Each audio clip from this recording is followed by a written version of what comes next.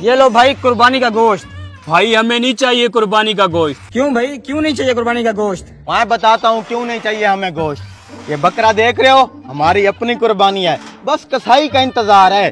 अभी इसको जिबा करेंगे और हम अपना गोश्त खाएँगे। ये वाला गोश्त आप जाके किसी गरीब को दे दो। हाँ हाँ भाई इसके ऊपर गरीबों का हक बनता है। जाके गरीबों को दे दें। ठीक है भाई जैसे आपकी मर्ज़ी। ये गोश्त मैं किसी और को दे दूँगा। ठीक है भाई ठीक है। मौलवी यार, कितनी देर है तेरे कसाई को? देख, बकरे को भी जल्दी है मुझे इसके पावे खाने हैं। ओ हाँ हाँ आ जाता है कसाई। चलो तुम। खा खा। अबे यार, मौलवी, कितनी देर है तेरे कसाई को? तूने कहा था सुबह आठ बजे आ जाएगा। बारह बज गए अभी तक नहीं आया वो। आ जाएगा आ जाएगा। तुम लोगों को पता तो है, ईद के ऊपर कसाई नखरे करते हैं बहुत। सुबह से यही सुन रहा हूँ, आ जाएगा आ जाएगा। पता नहीं कब आएगा तुम्हारा कसाई। साथ वालों के घर से खुशबुएँ चेक करो। कहीं बारबेक्यू बन रहा है, कहीं पाए बन रहे हैं, कहीं रोस्ट बन रहा है, और हमारा अभी तक कसाई नहीं आया। हाँ यार, सुबह से मैंने कुछ नहीं खाया। एक तो ये कसाई भी नवाब के बच्चे बने हुए हैं। जरा कॉल करके इसे पूछ, कितनी देर है? सुबह की चार काले कर चुका हूँ कसाई को। पांचवी भी करके देख लेते हैं।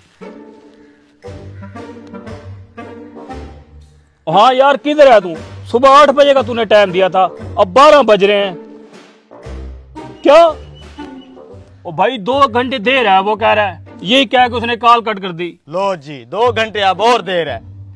जा बच्चे जा दो घंटे जी ले तू अपनी ज़िंदगी तेरे तो पाए खाऊँगा मैं।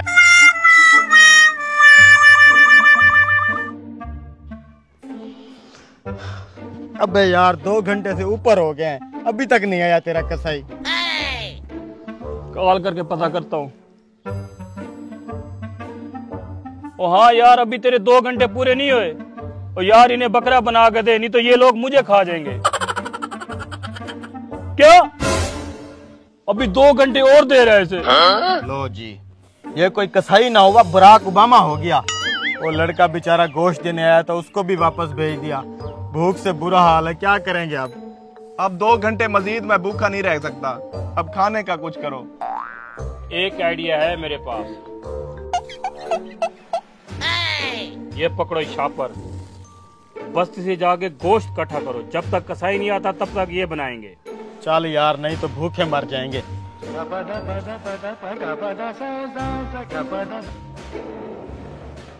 मैं इस तरफ़ जाता हूँ तू इस तरफ़ जा। शापर भर के लाना है गोश्त का। ठीक। अस्सलाम वालेकुम ब्रदर। वालेकुम अस्सलाम। ये शापर लें और अपने घर से मेरे लिए कुर्बानी का गोश्त ले आए। प्यारे भाई गोश्त तो अब खत्म हो गया है। आप बहुत लेट हो गए हो जानू। हाँ जी सारा काम हो गया है। भाई जान खाने का टाइम है घर में गोश्त नहीं है। अपनी कुर्बानी में से थोड़ा सा गोश्त तो ला दो। ओहो भाई थोड़ा सा लेट हो गए आखिरी गोश्त का शापर भी किसी गरीब के घर दे के आ रहा हूँ।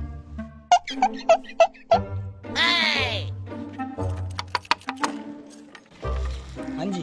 भाईजान अभी आप हमारे घर गोश्त देने आए थे। वो गोश्त का शापर तो ला दें। अभी तो आप नवाब बन रहे थे कि हमारी अपनी कुर्बानी है। वो दरअसल भाईजान हमारा कसाई लेट हो गया है। अब तो हमने सारी कुर्बानी बांट दी है। अब जाओ। रुको रुको रुको भाई। जी भाई।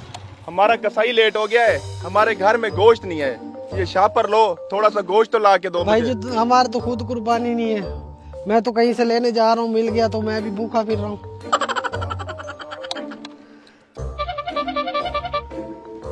मुझे तो कहीं से गोश्त नहीं मिला। तेरा भी छापर खाली है तुझे भी नहीं मिला। नहीं। चलो मौली के पास चलते हैं शायद कसाई आ गया हो।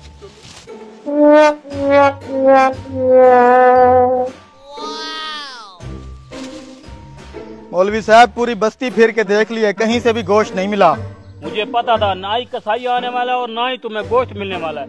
इसलिए मैंने चटनी का इंतज़ाम किया है। आज अब हम ईद वाले दिन चटनी खाएँगे।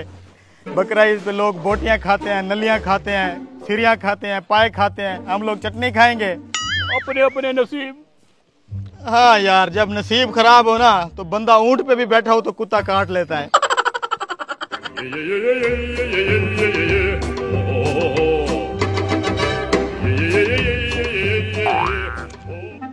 लगता है कसाई आ गया है।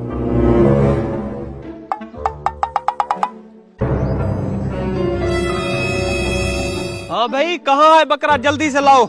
सुबह आठ बजे का टाइम था तू अब आ रहा है। इतना टाइम नहीं होता मेरे पास। सुबह से तुमने काले कर करके मुझे परेशान कर रखा था। दुआ करोगे मैं अब आ गया। जल्दी से बकरा लाओ। बकरे के बच्चे आज तुझे मार मार के गधा बनाएँगे हम। ओ रुको रुको रुको रुको रुको एक मिनट। रुको। पकड़ इसे